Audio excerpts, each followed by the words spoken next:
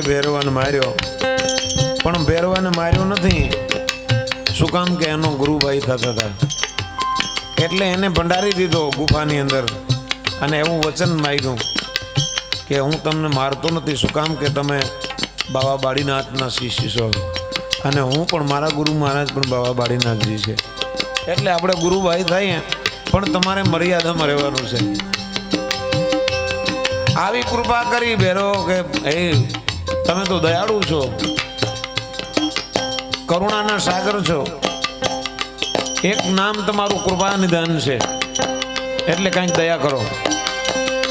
કે કાંઈ વાંધો હોય એ ગુફાની આડી મોટી શિલા કરી દીધી. અને રામદેવજી મહારાજ જ્યારે હાલતા થયા,